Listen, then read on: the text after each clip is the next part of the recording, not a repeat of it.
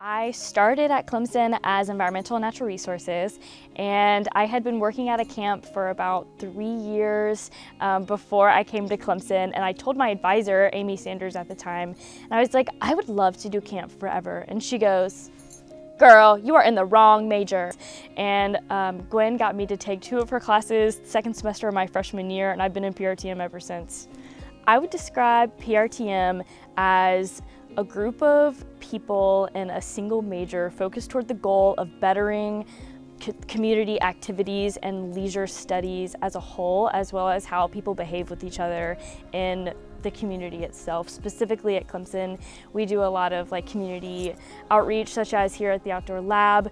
We do work with Camp Hope and Camp Clemson, as well as Camp Sunshine on the weekends, especially through our youth development classes, um, and also outreach into like regular event planning. I'm planning two weddings this coming October and that just so happened to be through some connections I had with PRTM. So those are some examples of how I'd describe it.